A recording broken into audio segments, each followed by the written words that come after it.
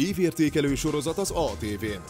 Milyen kérdéseket emelt ki a Sokak Magyarországa programjában, és mit gondol Európa sorsáról a korábbi miniszterelnök? Gyurcsány Ferenc évértékelője szombaton 15 órától itt az ATV-n.